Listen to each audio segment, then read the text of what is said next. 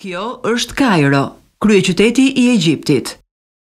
Nëse lëvizim nga këtu në lindje, shohim shkretëtirën e Saharasë. Ai është një peizazh i thatë, me asgjë tjetër, përveç disa autostradave që kalojnë përgjatë saj, Por këto imazhe satelitore që po shikoni janë të vitit dy mijë e pesëmbëdhjetë. Që nga ajo kohë ka ndryshuar shumë, pasi qeveria egjiptiane po e transformon plotësisht këtë rajon. Ata po mundohen të ndërtojnë një kryeqytet të ri, mu në mes të shkretëtirës. Por pse po e bëjnë këtë gjë? Dhe pse zgjodhën pikërisht këtë vendndodhje jo të favorshme për projektin? Me siguri i keni parë këto harta trafiku që Google shfaq për shërbimin e tij të navigimit, ku vijat e gjelbra do të thonë pak ose aspak trafik, dhe vijat e kuqe tregojnë trafik të shumtë. Kështu duket Kajro në ato harta. Trafiku është bërë një problem i vërtetë, dhe po ashtu edhe rritja e qytetit në përgjithësi. Nga njëqind e katër milionë banorë të Egjiptit, rreth njëzet milionë jetojnë në zonën metropolitane të Kajros. Një problem tjetër janë ndërtesat qeveritare. Ndërsa ndërtesat qeveritare në shumë nga kryeqytetet e botës janë të bashkuara në një vend për të thjeshtuar bashkëpunimin brenda qeverisë, ministritë egjiptiane janë aktualisht të shpërndara në të gjithë qytetin, gjë që shkakton mbingarkesë në trafik prej distancave të gjata. Por edhe kur ministritë janë afër njëra-tjetrës, infrastruktura është e vjetër dhe trafiku mbetet i mbingarkuar. Administrata politike është një barrë masive për Kajron, një qytet që tashmë është nën presionin e rritjes prej vitesh. Popullsia e Kajros është rritur me shpejtësi të madhe për dekada me radhë, me një ritëm që zgjerimi urban thjesht nuk mund ta përballojë. Në fakt, e gjithë popullsia e vendit po rritet me një ritëm që është më i lartë se rritja e popullsisë botërore, dhe qeveria egjiptiane e konsideron këtë një kërcënim për prosperitetin e vendit për sa i përket strehimit. Sipërfaqja më e madhe e Egjiptit dominohet nga shkretëtira e Saharasë, e cila është shumë pak e populluar. Kjo hartë e shpërndarjes së popullsisë tregon që shumica e njerëzve jetojnë përgjatë Nilit dhe në deltën e Nilit, ku ka ujë për bujqësi dhe industri, si dhe një klimë më të butë për qytetet. Por kjo hapësirë është e kufizuar për rritjen e shpejtë të popullsisë. Rritja e lartë e popullsisë nuk po kalon pa u vënë re nga qeveria e Egjiptit, e cila ka nisur të zgjedhë opsionin e vetëm të mbetur edhe pse i pafavorshëm. Egjipti e pa veten të detyruar të ndërtonte qytete të reja në shkretëtirë që nga vitet një mijë e nëntëqind e shtatëdhjetë. Projekte të reja masive zhvillimore janë ngritur rreth Kairos me qëllim për uljen e mbipopullimit të kryeqytetit. Në vitin 1977 u ndërtua qyteti i dhjetë Ramazanit dhe më pas në vitin 1979 u ndërtua qyteti i gjashtë Tetorit. Po ashtu në 1995-ën qyteti Sheikh Zaid. Si dhe në lindje u ndërtuan qytetet e El Obur, El Shoruk, Badr dhe Madinati. Dhe ndër të gjitha këto u ndërtua edhe projekti më i madh deri më sot i quajtur Kairo e Re, ndërtimi i së cilës filloi në vitin 2000. Këto qytete nuk janë periferi në kuptimin tradicional, sepse synimi nuk ishte vetëm të lehtësonin Kairon nga kërkesat për strehim, por më tepër të krijonin zona të reja metropolitane të veçanta me ekonominë e tyre lokale.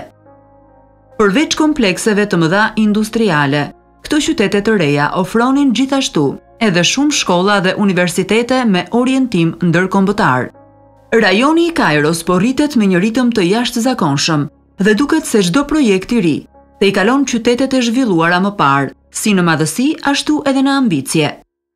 Megjithatë projekti që është aktualisht në zhvillim, vështirë se mund të tejkalohet për sa i përket ambicies, pasi qeveria tani po krijon një kryeqytet krejtësisht të ri, në lindje të Kairos së vjetër dhe Kairos së re. Le të hedhim një vështrim në planimetrinë e këtij qyteti më në detaje. Si fillim, meqë do të ishte kryeqytet i ri, u krijua edhe kjo zonë administrative, e cila do të strehojë të gjitha ministritë e ndryshme të qeverisë egjiptiane.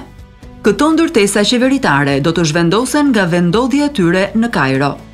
Këto ndërtesa ministrore do të shtrihen përballë njëra-tjetrës përgjatë një aksi qendror, ku në qendër të saj është vendosur ndërtesa e kabinetit qeveritar, në të cilën ministra të ndryshëm të qeverisë mund të takohen për të koordinuar punën e tyre. Në njërin skaj të aksit ka një zhvillim rrethor në të cilin godinat e tjera shtetërore janë vendosur. Këto janë institucionet kombëtare, që përfshijnë selinë e postës dhe Bankën Qendrore Egjiptiane.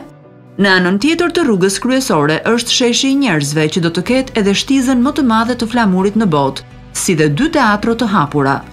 Ky shesh do të kufizohet nga një ndërtim i madh i harkuar, që do të jetë edhe monumenti i ushtarit të panjohur. Kjo godinë me simbole faraonike përkujton ushtarët e rënë. Ky shesh i popullit ka të ngjarë të jetë gjithashtu mjedisi për paradat e ardhshme ushtarake. Në anën tjetër të sheshit ka dy ndërtesa për dy dhomat e parlamentit egjiptian, Shtëpia e Përfaqësuesve dhe Senati. Në veriun e kësaj zone është pallati presidencial, i cili është edhe godina e pozicionit më të fuqishëm politik në vend. Kjo qendër e re administrative mund të duket e drejtpërdrejtë, pasi ajo i ngjan një formule që shumë kryeqytete të botës ndjekin. Është një zonë e madhe, plot me sheshe madhështore dhe rrugë të gjera, që demonstrojnë forcë, por gjithashtu është një plan urbanistik, që i mban institucionet më të rëndësishme të vendit relativisht afër me njëra-tjetrën. Por aty ku ky kryeqytet egjiptian dallon nga vendet e tjera është madhësia e një ministrie të vetme. Bëhet fjalë për Ministrinë Egjiptiane të Mbrojtjes. Ky është tetëkëndëshi, i përbërë nga dhjetë ndërtesa pranë njëra-tjetrës. Është selia e re e Ministrisë Egjiptiane të Mbrojtjes, e Ushtrisë Egjiptiane dhe Qendrave të Kontrollit të të Dhënave. Kur të përfundojë, ky do të jetë kompleksi më i madh i mbrojtjes në botë, duke tejkaluar dhe Pentagonin në Shtetet e Bashkuara të Amerikës. Këto ndërtesa janë pjesë e një sipërfaqeje të gjerë, që u përket zonave për punonjësit, dhe njësi apartamentesh ushtarake, vendesh adhurimi, hotele, shkolla, spitale dhe shërbime administrative të tjera. Në një farë mënyre, ky është një qytet brenda një qyteti, dhe shkalla e këtij kompleksi shërben gjithashtu si një kujtesë e fortë e rolit të madh që luan ushtria politikisht në Egjipt.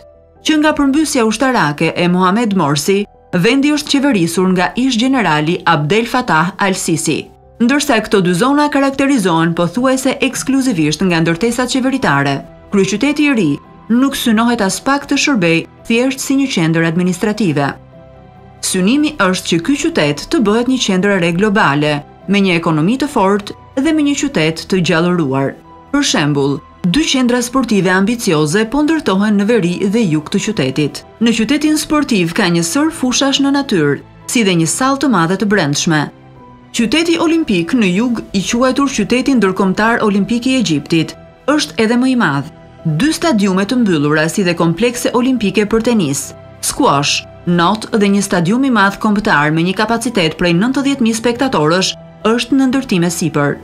Qeveria egjiptiane ka sinjalizuar gjithashtu publikisht interesin për të aplikuar për organizimin e ngjarjeve sportive globale, si Lojrat Olimpike apo Kupa e Botës FIFA. Gjithashtu janë ndërtuar edhe godina të mëdha për adhurimin fetar në qytetin e ri, ku mund të përmendim dy xhami në lindje dhe perëndim të qytetit, Xhamia Al-Fatah Al-Aleim, që tani është xhamia më e madhe në vend. Gjithashtu në qytetin e ri, Po ndërtohet një numër i madh universitetesh në të gjithë qytetin. Shumë prej tyre janë institucione ndërkombëtare të studimit. Dhe ky qytet është duke u zhvilluar edhe me ndërtimin e kullave qiell gërvishtëse, ku pallati i quajtur Kulla Ikonike, kur të përfundojë do të jetë ndërtesa më e lartë në të gjithë Afrikën. Për banim në qytet, masterplani përbëhet nga 20 qendra rezidenciale me stile të ndryshme arkitekturore. Siç janë të dukshme në këtë imazh satelitor, gjashtë prej tyre tashmë janë përfunduar. Dhe përgjatë gjithë gjatësisë së qytetit, një park gjashtë herë më i madh se Parku Qendror i Nju Jorkut do të gjarpërojë lumin artificial që do të krijohet i frymëzuar drejtpërdrejt nga Nili. Pavarësisht homazhit që i referon Kajros së vjetër, kryeqyteti i ri ndryshon në çdo aspekt nga qyteti historik. Qytetet e planifikuara si ky janë magjepsëse, pasi të gjitha këto komplekse të mëdha komerciale, sportive dhe administrative përfaqësojnë një plan aspirativ për atë se si Egjipti dëshiron të duket në të ardhmen e vendit.